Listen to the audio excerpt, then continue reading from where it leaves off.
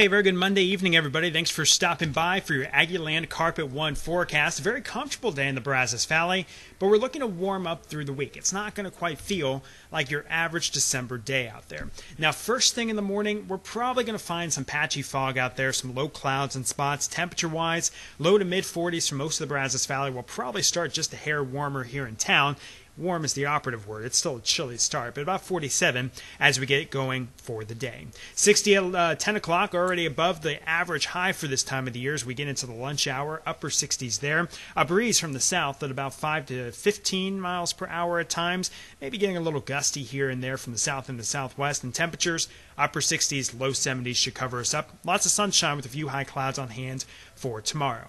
A weak cold front comes in on Wednesday. It's really not going to drop temperatures. It's just going to push out some of those clouds and shift in a northerly wind for about 12 to 36 hours. Then the southerly winds are back. We're warming up closer to 80 degrees for parts of the Brazos Valley by week's end, and then we get into the weekend. Saturday may be lingering into Sunday morning.